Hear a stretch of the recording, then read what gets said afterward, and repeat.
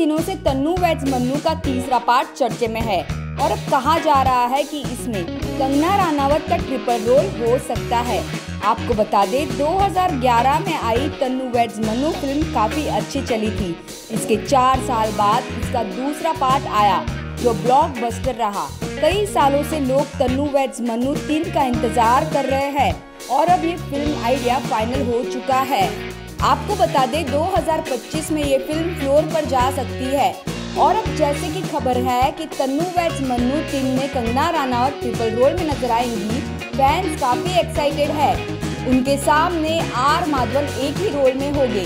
Tannu weds Mannu team 2026 में release हो सकती है। वैसे आप कितने एक्साइटेड हो तन्नू वेज मन्नू तीन के लिए? आपकी राय हमें ज़रूर लिखिएगा हमारे कमेंट सेक्शन में। Also please to subscribe our channel Nation Now Mumbai से विदिता प्रताप नेशन नाउ